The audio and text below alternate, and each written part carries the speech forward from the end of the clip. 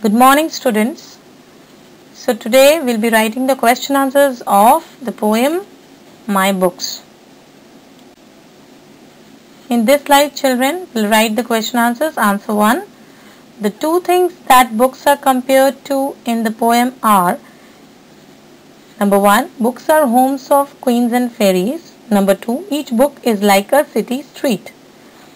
Number 2 answer children the answer number 2 you have to solve it in your book itself as I have shown you in the slide in our online class. Answer 3a the narrator feels that the books are friends and homes of many imaginary characters. Answer 3b the characters that the poet has read about are queen, fairies, knights and gnomes.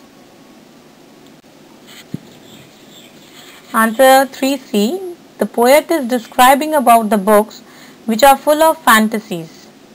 Then you have to change the paragraph and write one such book which I have read is Snow White and the Seven Dwarfs. Coming to answer 4. A quaint person welcomes the poet. The expression hearty hand means in a friendly manner. Answer 5. Each time when we read a book, it makes us feel as if the characters in it calls us in a friendly manner and leads us to their wonderland and creates a feeling of adventure. Answer 6. I enjoy reading fantasy, detective and horror books. Then you have to change the paragraph and write I would say the person to read more and more number of books in order to improve English vocabulary, fluency in English speaking to increase knowledge and also to have fun in one's free time.